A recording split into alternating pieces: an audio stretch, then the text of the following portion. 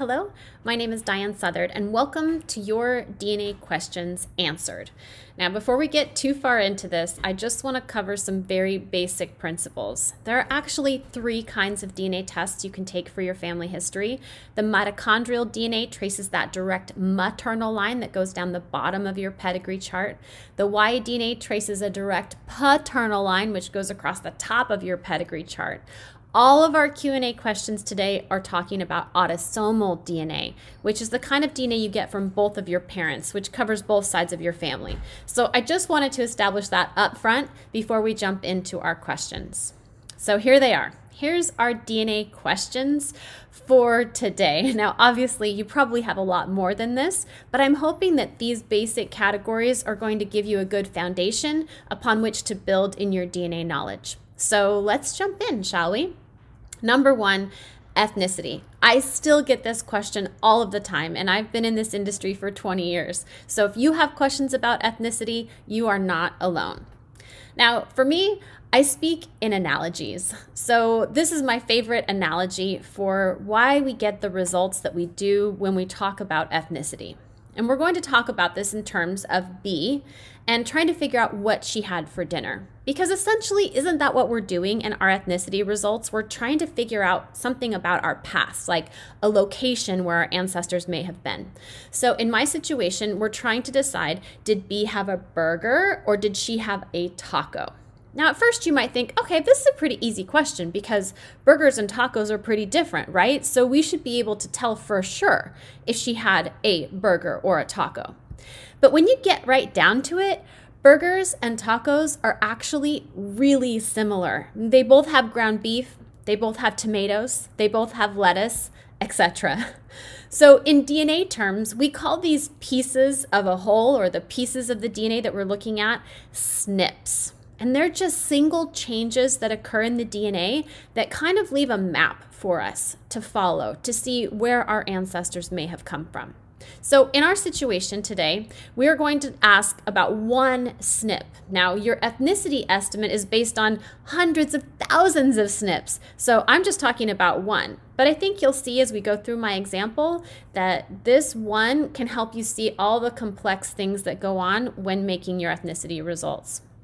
All right, one of the biggest factors in your ethnicity results is reference populations. So they've taken the DNA from a person who lives in the place where you think you might be from, and they're using their DNA as a baseline to compare you against. So in our example, that would be like surveying everyone who walks out of the burger place and asking them, Did you have ketchup or did you have a whole tomato?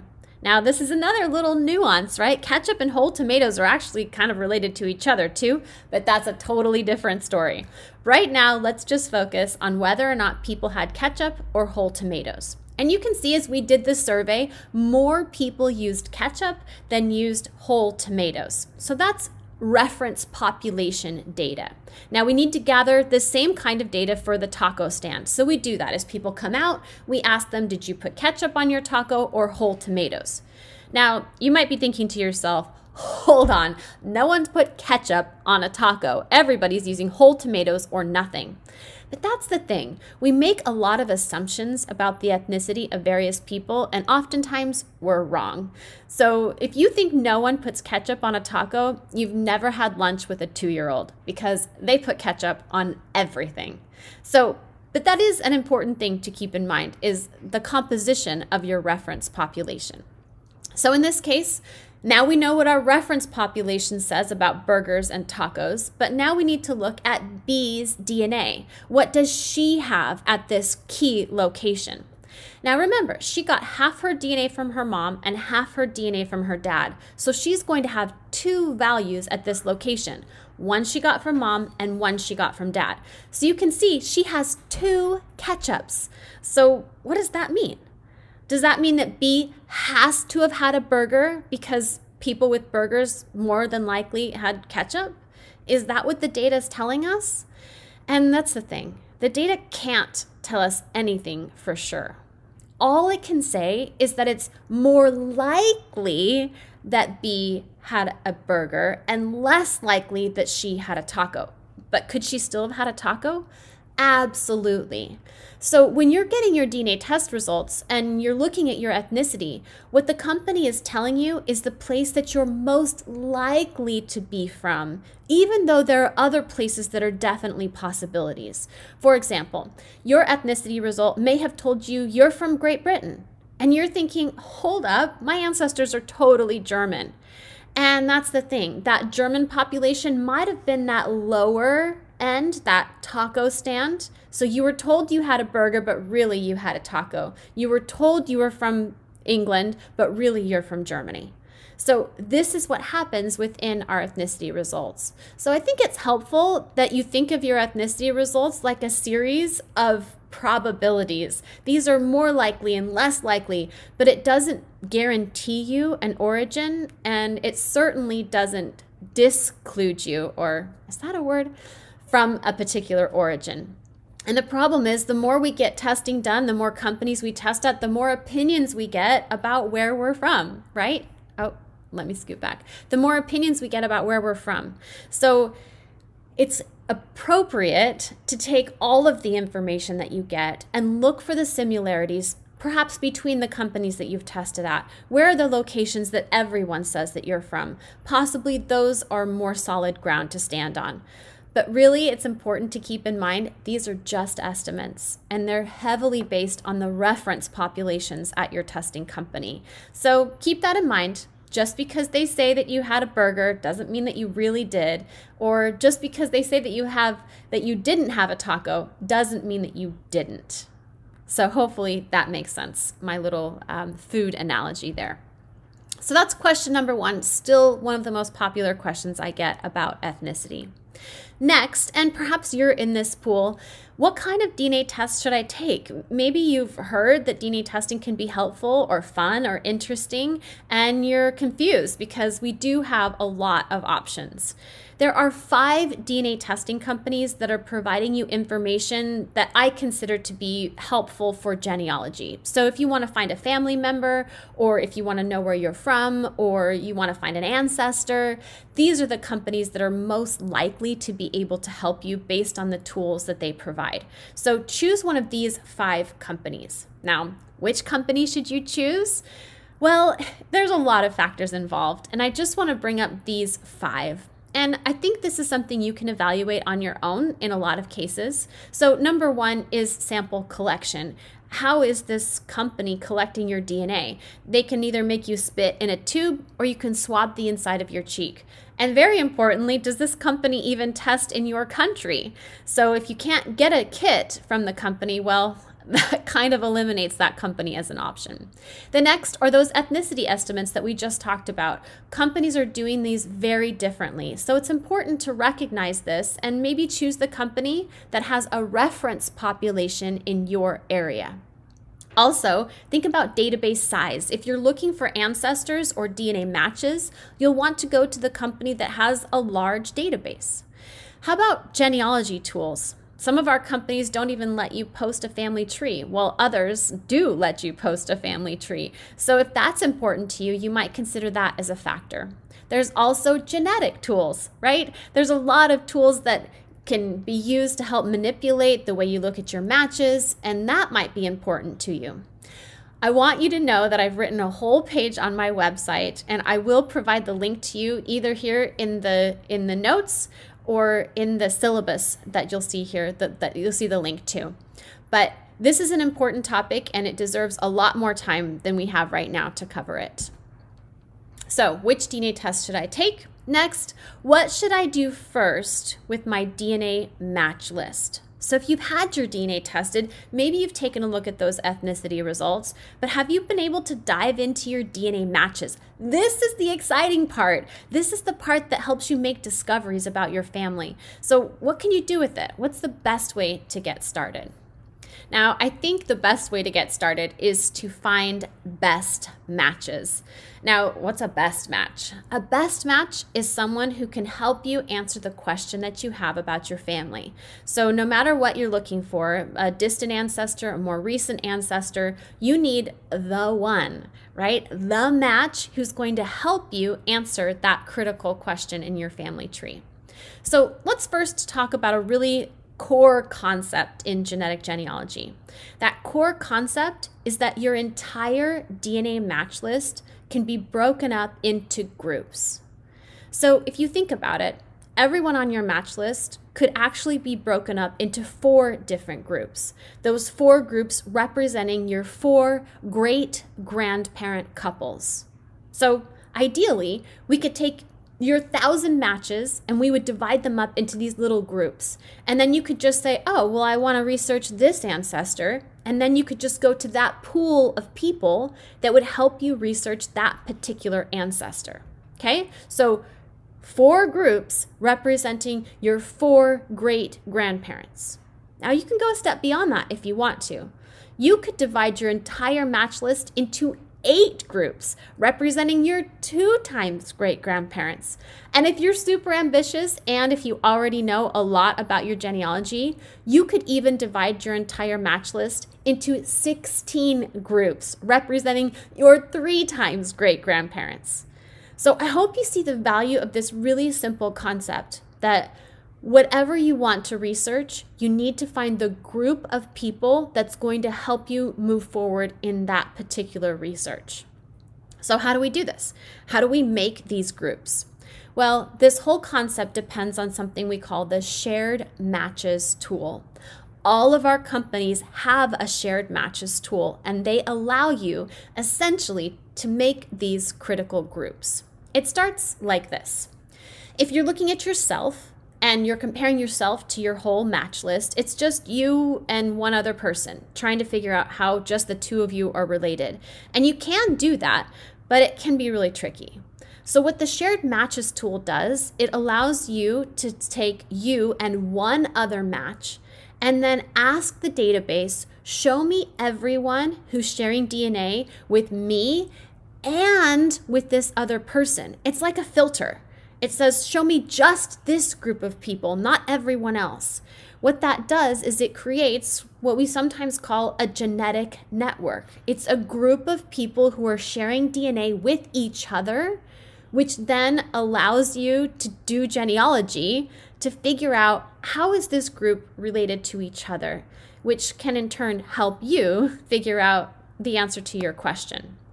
Now, one of the very best ways to use the shared matches tool and to divide your match list into groups is to start with a known match. Now, I meet with a lot of people, and a lot of times we'll pull up their DNA match list together and they'll quickly scroll past the first few people and they'll say, Oh, I know who that is. That's so and so. That's my cousin. Stop! Don't ignore these known matches, they are key to your research.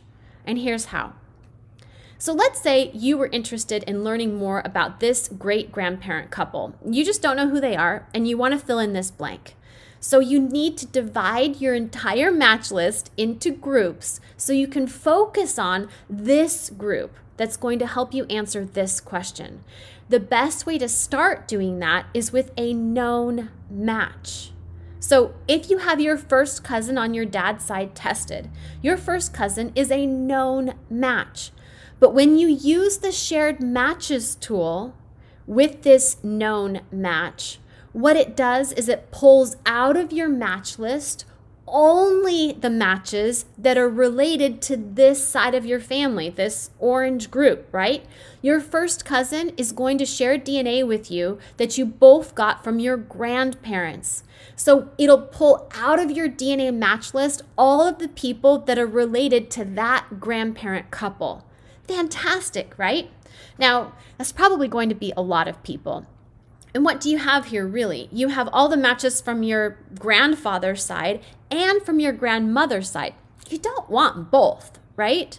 So, what do we do? Well, I call this splitting your match group. So, if you do have another known match, perhaps a second cousin from this grandmother's side of your family, if you use shared matches on this second cousin, it will effectively split that group into two.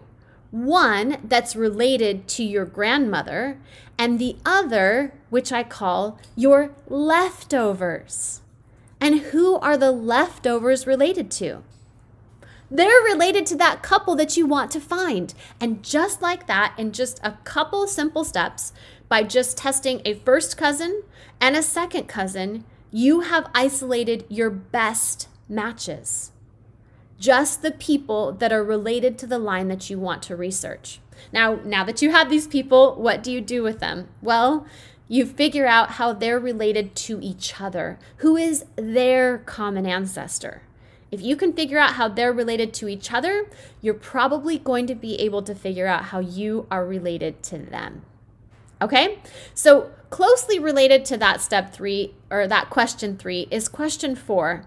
There's a lot of you out there who are looking for biological family members, parents, grandparents, siblings. So, take this same concept of dividing your match list into groups, and you can apply this concept as well. Now, you say, Well, I don't have any known matches. I, I don't have family on that side. Or maybe you're looking for both parents. That's okay. We can use this same principle. What you do instead of starting with a known match, you're just going to start with the match who shares the most DNA with you. Now, as long as that match doesn't share over 2,000 centimorgans, because if they do, they're probably your parent or your full sibling. So, as long as that top match is someone under 2,000 centimorgans, this process will work. So, what do you do? You click on that match and you use the shared matches tool.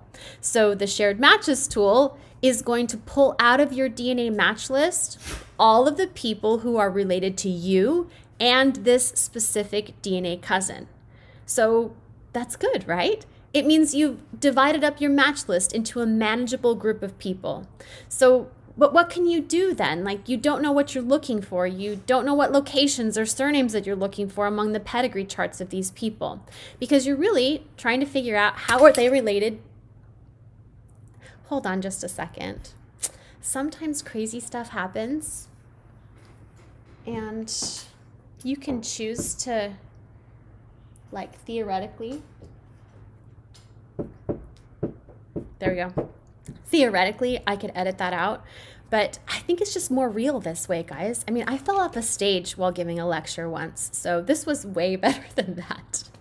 Okay, what I was telling you was what you're looking for is to figure out how these people are related to each other right? So, one of the best ways you can do that is to find the generation of connection. That's what I call it. You want to find out how far back in a particular match's genealogy would you need to go in order to figure out your relationship. So, if this match is a second cousin, for example, then you need to look back in that matches pedigree to that second cousin level, which means you share great grandparents. What this tells us is one of these couples that you see right here on your matches tree belongs in your tree. But which couple? Well, that's the power of the group, right? You look for the generation of connection for all of those matches in that group. And you're looking for what?